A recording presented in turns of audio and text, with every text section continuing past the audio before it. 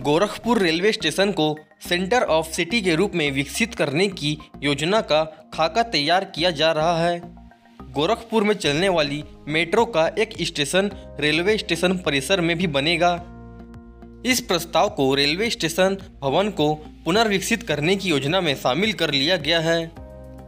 अब एजेंसी नए सिरे से इसकी डिज़ाइन तैयार कर रही है। रेलवे प्रशासन ने तकनीकी एवं वित्तीय उपयोगिता के अध्ययन के लिए कंसल्टेंट नियुक्त किया है।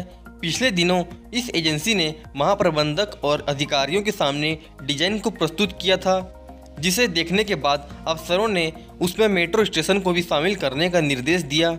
साथ ही बताया गया है कि डिज़ाइन इस प्रकार तैयार करें कि स्टेशन का प्रवेश और निकास द्वार सड़क की ओर न होकर स्टेशन परिसर में ही हो। वहीं एफओबी फुट ओवर ब्रिज से सीधे लिंक करने को भी कहा गया है।